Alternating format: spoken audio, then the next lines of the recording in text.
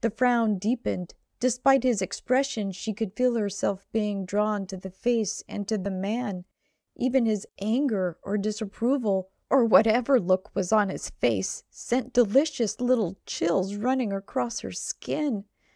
"You hunt them? Why?" he asked. "I'm a member of an elite group of specially trained soldiers who hunt down and kill these demons," she told them.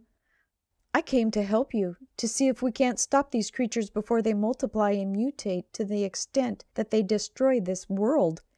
"You came here?" one of the other men said. "From where?" Straightening up, she locked on to Eli's face and stared at him eye to eye. "I'm from here, but from the future.